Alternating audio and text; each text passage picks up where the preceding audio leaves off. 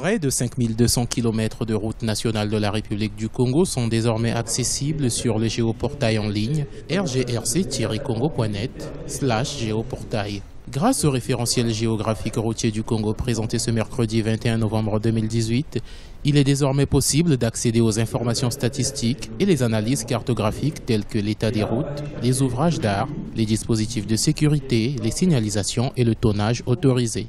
Il suffit de cliquer, vous avez des informations qui vous renseignent sur euh, euh, l'état des routes euh, entre Brazzaville, et Pointe-Noire par exemple, ou alors dans tous les départements du Congo, vous avez des informations en temps réel.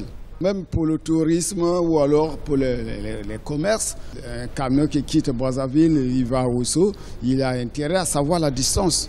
Le référentiel géographique routier du Congo est un des résultats du programme d'appui à la gouvernance et à l'entretien routier pour la période 2012-2019 et devant aboutir entre autres à la mise en place d'un plan national de sécurité routière. C'est un outil euh, qui est associé avec le système informatique donc par l'Internet, normalement, il faut qu'il y ait une cellule de travail technique dans cette direction pour gérer cet, outil.